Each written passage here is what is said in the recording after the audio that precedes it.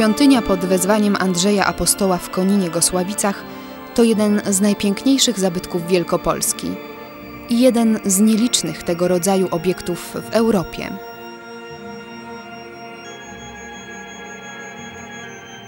Kościół wzniesiony z inicjatywy Andrzeja Łaskarza z Gosławic z rodu Godziębów, biskupa poznańskiego w latach 1414-1426, swoimi rozwiązaniami architektonicznymi i dekoracją heraldyczną nawiązuje do najważniejszych symboli chrześcijaństwa do krzyża i grobu Chrystusowego w Jerozolimie, miejsca otaczanego szczególnym kultem w Kościele Powszechnym.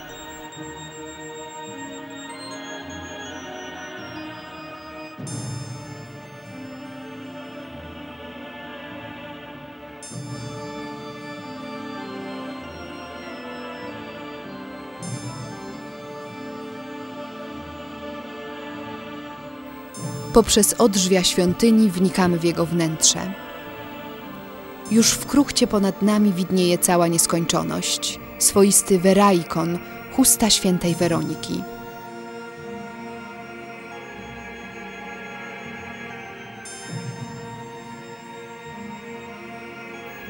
W głębi, poza otworem obwiedzionym gotyckim portalem, wyłania się centralna kolumna dźwigająca gotyckie sklepienie, symbol nieba, zbawienia. To dwa symbole bramy niebieskiej i ostatniej drogi życia zarazem i drzewa życia, które rodzi dobre i złe owoce.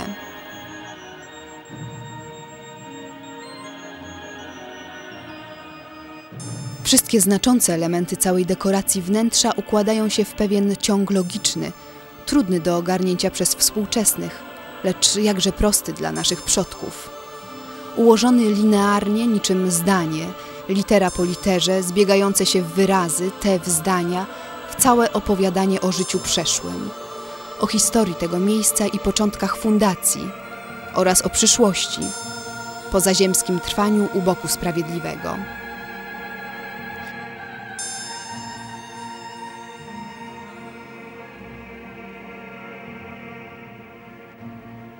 Odczytujemy je według prostej hierarchii. Im niżej posadzki, tym bliżej ziemskiego padołu. Im wyżej ponad ziemią, tym bliżej nieba.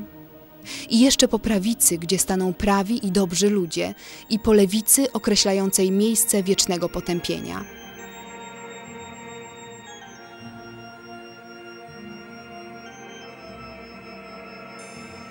Wzniesiony na planie krzyża greckiego, nakryty pięknym sklepieniem, wsparty na centralnej kolumnie kościół, nawiązuje do Bazyliki Grobu Chrystusowego w Jerozolimie.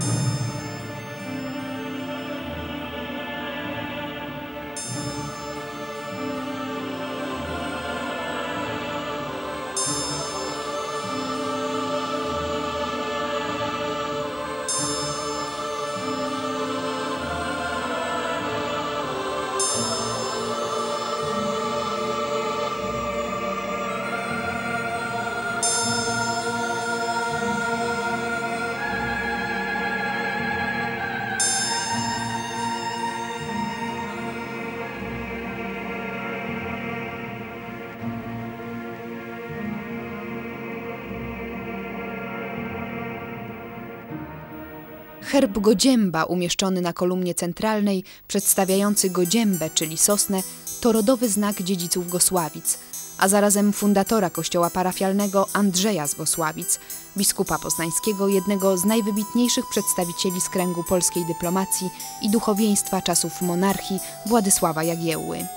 Herb Godzięba, umieszczony powtórnie na wsporniku żebrowania sklepienia prezbiterium, został wyróżniony w sposób szczególny.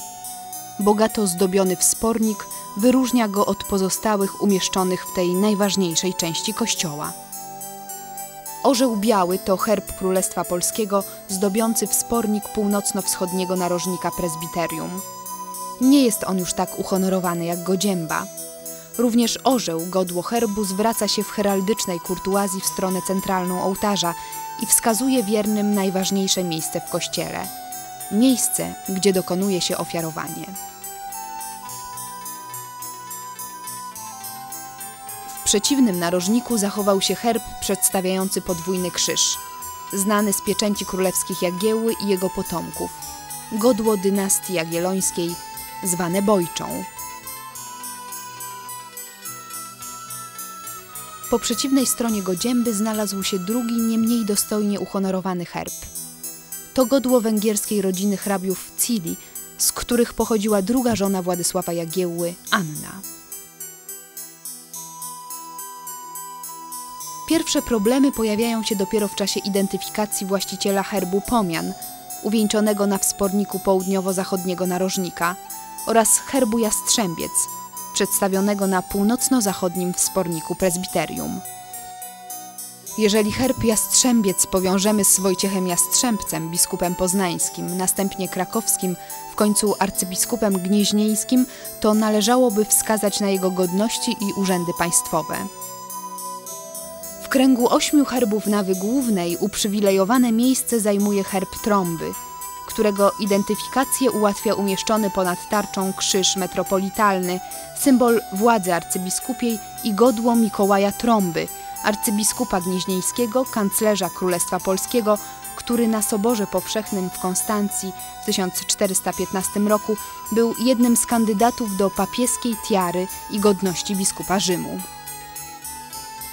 Dobór herbów w prezbiterium symbolizuje państwo, regnum, króla, rex, królową, regina. Mamy tu więc zawarte bardzo istotne treści polityczne.